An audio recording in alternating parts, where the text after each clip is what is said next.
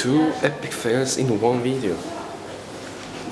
Broken Deva Schindler at Galleriet.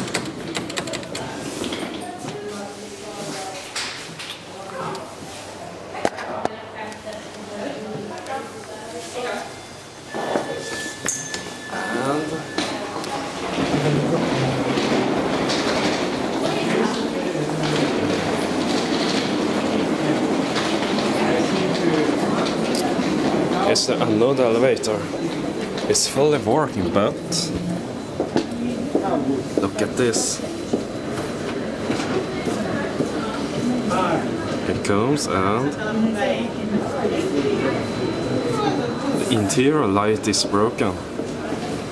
They all flash like that. Something's really wrong with the lights.